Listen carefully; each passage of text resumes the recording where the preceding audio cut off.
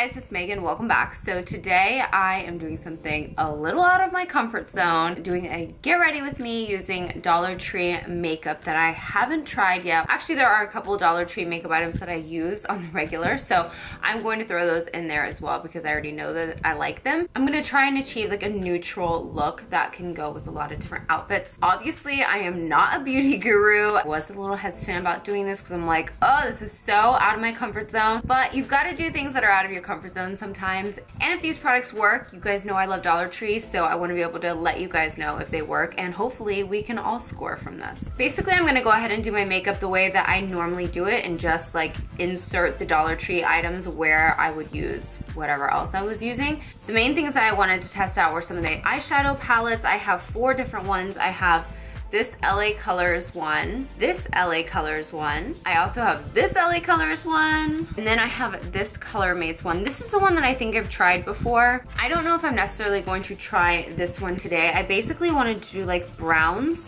so that's why I have all those other ones. The other things I wanted to give a shot was this mascara for my lower lashes. I do have eyelash extensions right now on my top lashes, so I just wanted to try that mascara out on my bottom lashes. I also wanted to try out this contour powder, basically just the dark one. I wasn't really as interested in that one, but I wanted to try this out for contour. I will give a little spoiler alert. I use this LA Colors brow, the brow tint all the time. I really like it. It's a little dark, uh, I have the dark blonde, but I really like it a lot. Another spoiler alert is I use this Color Mates blush quite often. This is the Sunkissed Tan. I like it, I think it's pretty. I also got a couple lipsticks by LA Colors. I got this one in Dusty Rose, and I got this one in Satin. I wasn't too like amazed. I thought I could maybe mix these two together. I wasn't too blown away by the lipstick options, and I also got this uh, LA Colors little lip gloss to put on top of it. I need a headband. Okay, I'm going to put this mirror here so I can actually like see myself. I always start with doing my uh, eyes first. So I start with just a concealer over top of my eyes to just kind of put a base down. This is not a tutorial, this is just showing how I do my makeup and how I'm trying out this makeup. I am not a beauty guru.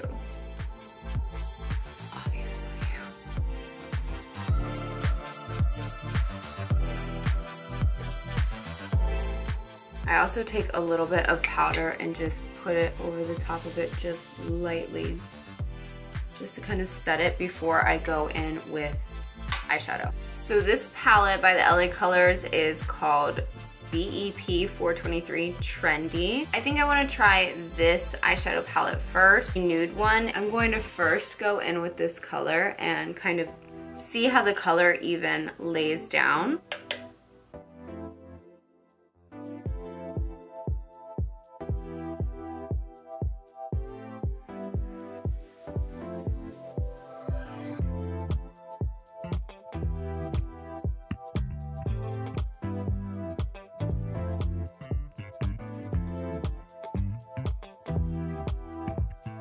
Okay, I am not mad about the color payoff for that. I mean, it's not the best, but it's not the worst. Now I'm going to try this little darker bit of a brown color.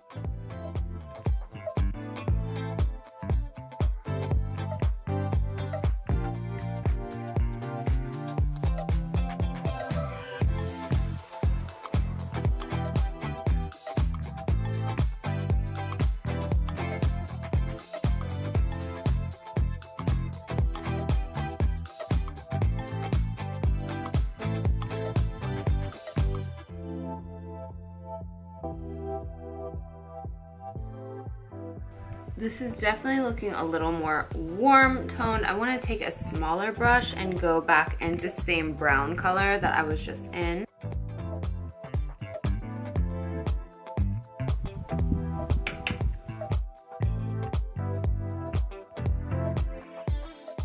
I want to take that same brown and take a flat brush and put it on top of my lid.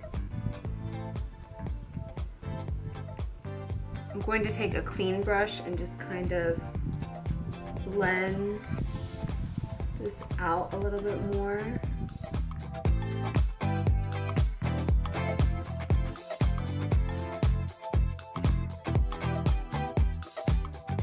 I'm going to take this light shade right here and see if it does anything in my brow bone area. It's not bad.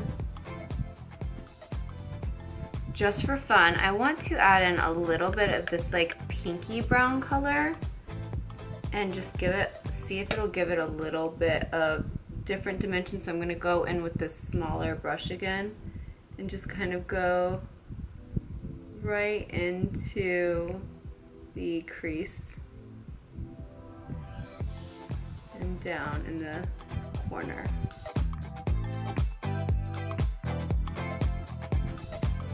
Can see that showing up a little bit.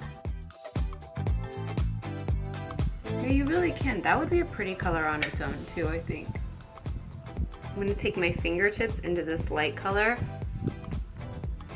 and just see that looks like right in the middle if it even shows up a um, little bit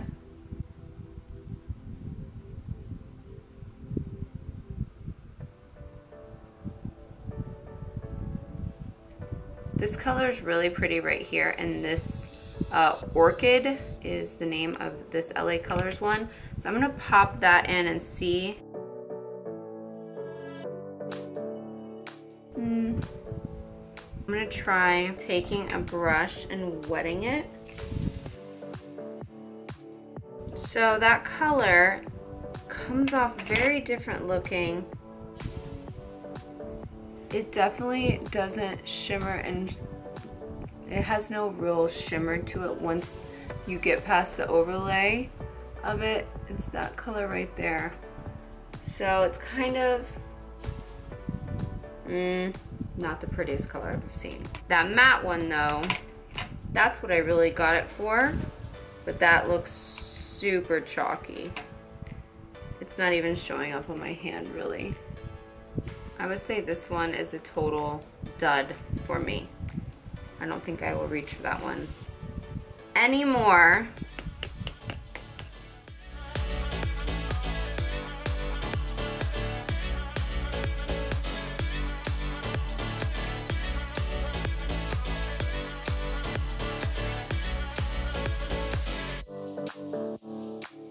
Before I do the rest of my face makeup, I'm going to go ahead and do my brows with the LA Colors Brow Tint. Like I said, I do like this one. I naturally have pretty good brows. Like I don't need a ton of help. So if you're someone that wants like to really be able to fill it in, I'm not sure how well this would work. But just to darken it up and fill it in, I like the way this works for me.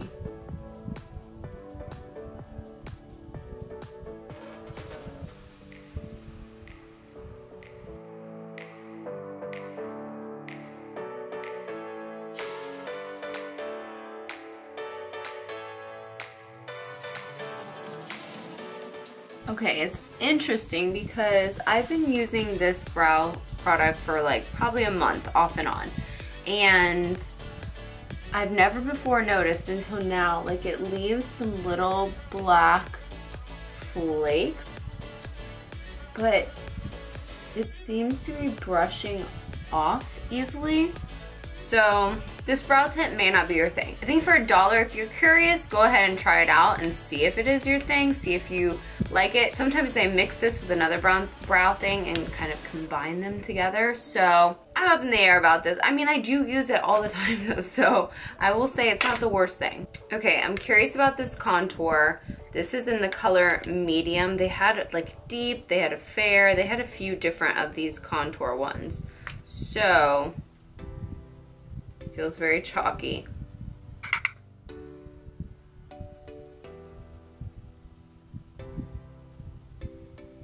Mm. It's actually not bad. I'm not mad at this.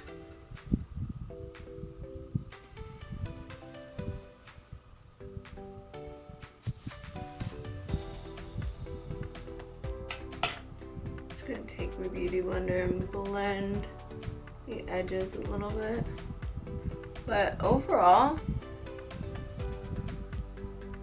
I don't think that's bad. I would use that one again.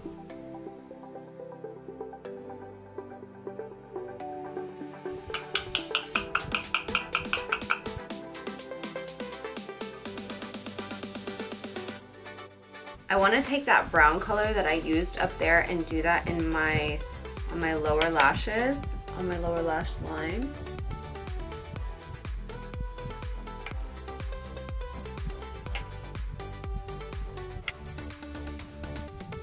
I think that looks good down there. I'll be curious if it stays. I'm happy with that. Now I'm going to take this Sinful Colors Stop and Stare Gel Eyeliner in this deep purple color just for a little fun pop of color. Okay, that is making my eyes water so bad. This, that is rough. That is rough. Okay, that's a pass for me. That's a fail. Maybe this will look pretty on your upper lashes, upper lash line, but it's not good for the waterline, at least not for me. It hurts down there, it's not creamy. It feels creamier going on your hand than it definitely does in your lash line. Not a fan, no thank you, pass. I want to take some of this LA Colors, this little mascara, and go ahead and try that on my lower lashes. The one's a little bit bigger than I thought it was going to be, so this could be a disaster.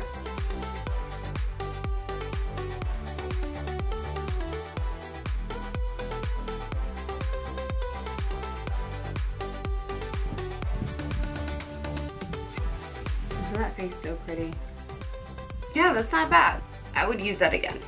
What else have I not used? Okay, so I'm going to use a little bit of this Sun Kissed blush. This blush is pretty pigmented, so you want to go in with a light hand, but it does seem to blend out pretty well.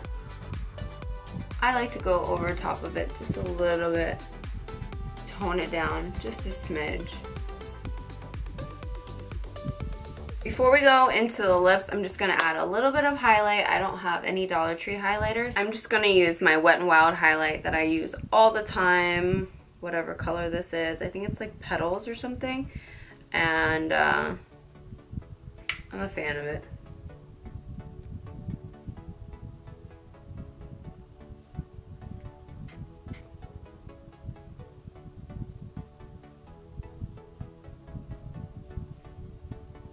My idea was to go in with the pink and top it with this color and I thought that that would be like a pretty combination. Sure.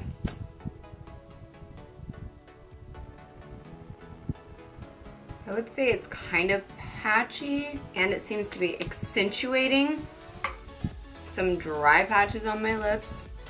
But let's just see what this color, what is this satin looks like.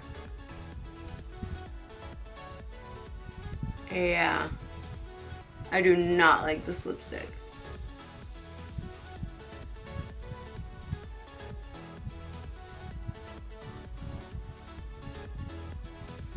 Look, can you see that? And this,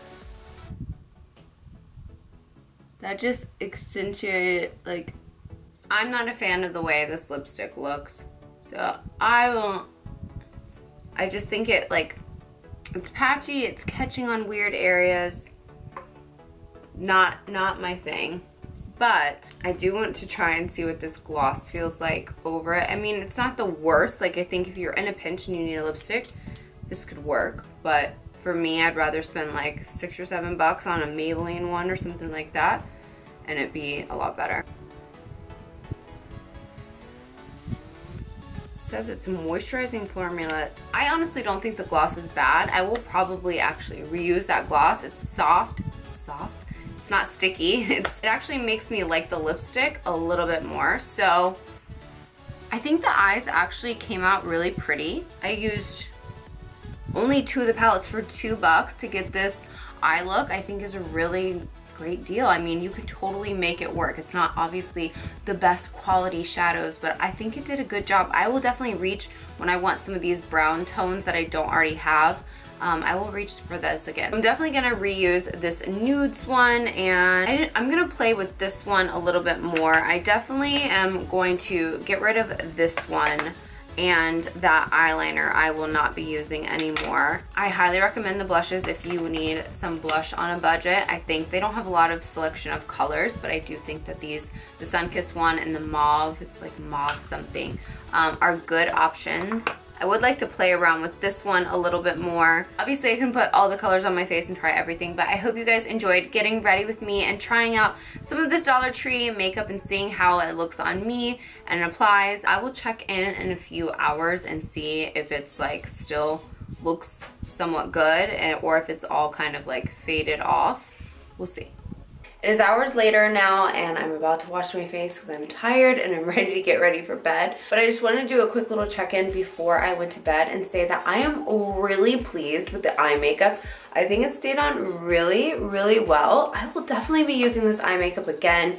I think that probably using the concealer down first helped it stick like using it as a primer. I'm also really happy with the bronzer. I think that if, you know, for a dollar, I think the bronzer worked well and the blush, I mean, you can still see the blush a little bit. The lighting in here isn't the best. I'm in my bathroom. So that lip color I was not a fan of and nor was I a fan of like the texture of it. I just, it wasn't good for me. The mascara for the bottom lashes, I feel like kind of faded off a little bit. So but for a dollar and it's just my bottom lashes, I will probably use that again because it didn't look like it smudged or flaked or anything like that. It just kind of just like faded a bit. Overall, I'm pretty happy with the Dollar Tree makeup that I tested today. I hope you guys enjoyed checking this video. Let me know in the comments below if you've tried any Dollar Tree makeup and if you have, what is your favorite makeup from Dollar Tree? But that is everything for today. I hope you guys enjoyed. Don't forget to give it a thumbs up if you did. And if you're new, I would love to have you subscribe. Now I'm going to wash my face, get in some PJs, and call it a night. Thank you all so much for watching. I hope you have an amazing rest of your day, and I will see you in my next video. Bye.